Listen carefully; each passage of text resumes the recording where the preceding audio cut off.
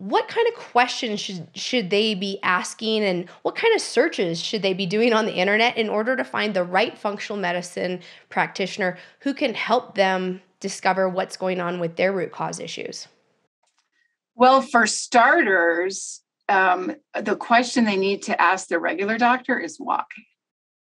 Because that is one of the things that traditional medicine really doesn't answer and so and if you know if more about the why part like because like give me an example like if if you say like hey my hair is falling out or i feel like i'm sweating all the time please tell me why. Is that is that kind of where you're going with this? Yeah or you know i'm anxious. I can't sleep at night. What is your doctor's response to that? Here's an antidepressant and here's a sleeping pill.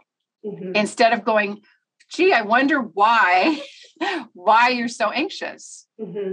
you know um, or one of my one of my all-time favorites or least favorites so to speak would be people with gallbladder problems. You know they a doctor means well and removes their gallbladder but nobody asks well i wonder why the gallbladder got so toxic that it developed these stones? And that's mm. such a classic example of the difference between traditional medicine and functional medicine rather than cutting out an organ you figure out mm, what's going on and what caused it? And in gynecology it's hysterectomy.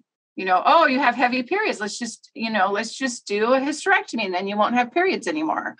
Okay but why are your hormones so imbalanced that your periods are so heavy?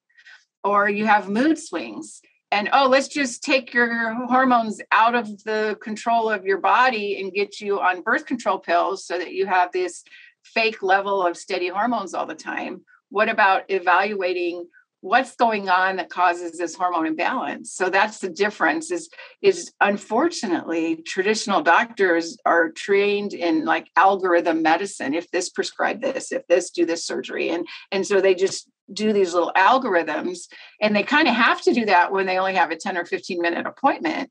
But why? You know why is this why do you think that this birth control pill will help me? Why do you think you know why do i have anxiety as opposed to here's a medicine to to make me sleepy so that you know it takes away the anxiety but it also takes away your you know your energy